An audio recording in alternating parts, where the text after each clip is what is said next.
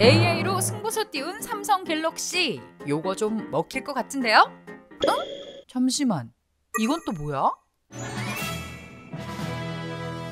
안녕하세요. 알고 있니의 김수현입니다. 지난밤 있었던 갤럭시 언팩. 그동안 AP며 카메라 성능, 배터리 효율 등 발전된 device 스펙을 자세히 설명하며 차별성을 강조하는 데 초점을 맞춰 언팩이 진행되었다면 이번 갤럭시 언팩은 명확히 하나의 키워드, 바로 AI로 시작하고 끝났다고 해도 크게 틀린 말이 아닐 텐데요. 스펙 혁신은 없었다로 평가하시는 분들도 많이 있지만 이번 갤럭시 24 시리즈 앞으로 수년 동안 이어질 갤럭시 시리즈 변화의 시작점이 되겠구나 생각이 들었어요. 그래서 오늘은 갤럭시 언팩 2024 발표 같이 한번 되짚어보는 시간 준비했습니다. 그 전에 잠시 내가 알고 있니를 구독하고 있는지 되짚어보는 시간 가져볼까요?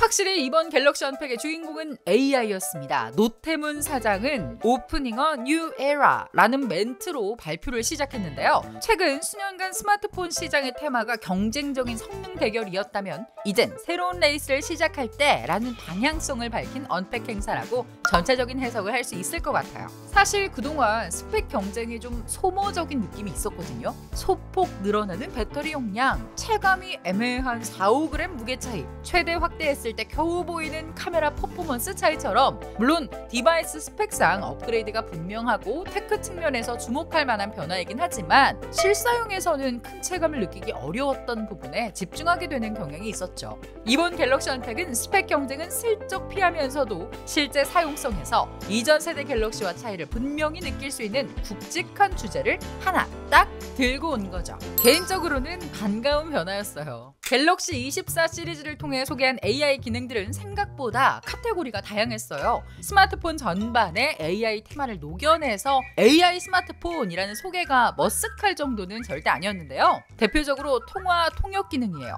통화 중에 실시간으로 나의 언어를 상대방의 언어를 서로의 언어로 통역해주는 기능이에요.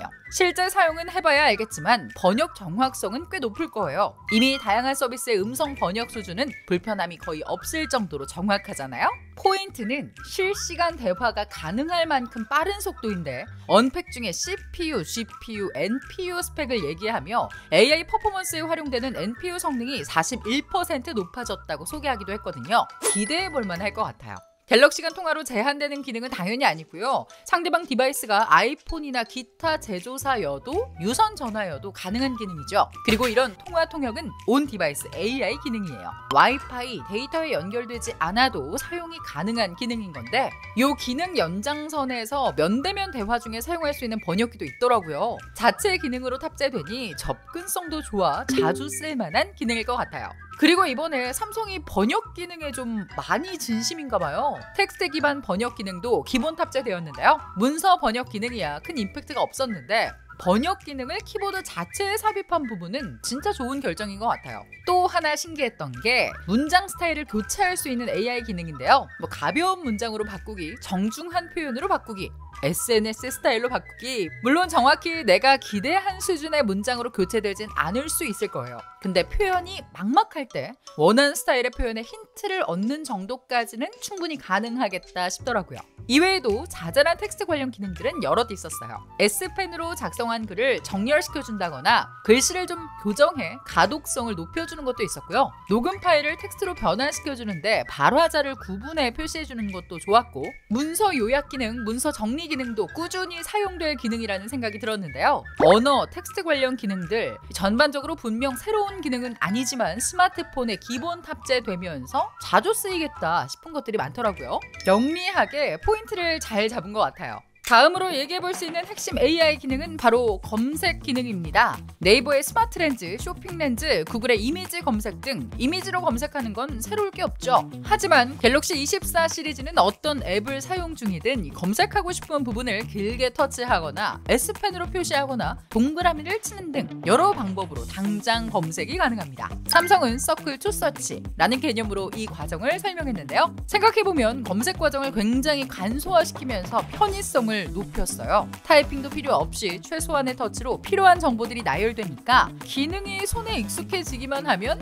그냥 심심하면 검색해 볼 것 같아요. 사실 이번 언팩에서 워낙 AI에 초점이 맞춰져서 평소 길게 구성되던 스펙 부분이 거의 생략됐다 싶은 기분까지 들 정도였거든요. 근데 나름 핵심적인 변화들이 소프트웨어, 하드웨어, 디자인에 모두 있었어요. 일단 울트라 모델에는 티타늄이 들어갔죠. 화면 사이드의 엣지는 사라졌고 기본형 플러스형은 알루미늄 소재를 유지하면서 측면 프레임이 유광에서 무광으로 바뀌었어요. 컬러 변화도 눈에 띄는데요. 특히 플러스형과 기본형의 색감이 아주 좋아졌어요. 측면 프레임과 카툭튀 부분에도 색 통일감을 가져간 게 아주 느낌이 좋더라고요. 그리고 코닝 고릴라 아머 덕분에 액정의 견고함과 스크래치 방지 성능이 높아졌고 무엇보다 화면 반사가 75%나 줄어든 변화가 인상적이었는데요. 또 최대 2600니트까지 화면 밝기도 높아졌잖아요. 밝은 야외에서 정말 만족스러운 사용 가능하겠어요.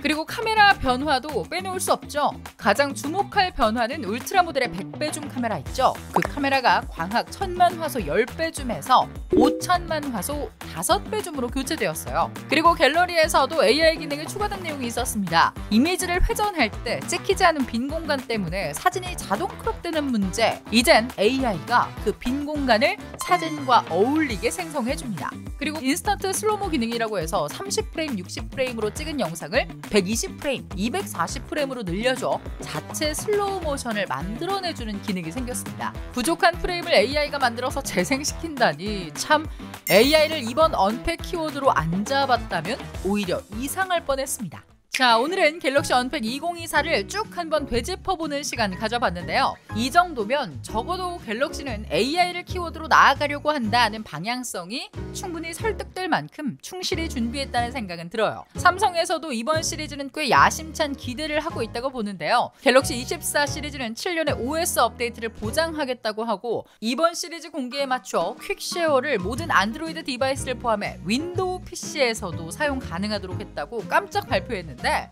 스마트폰 시장의 지각 변동을 꿈꾸며 야심차게 준비한 갤럭시 24 시리즈라는 생각이 드네요. 찾아봐도 이게 뭔 말이야 싶은 IT 이야기 지금까지 알고 있니의 김수현이었고요. 구독과 좋아요, 알림 설정 부탁드립니다. 그럼 다음에 만나요. 안녕.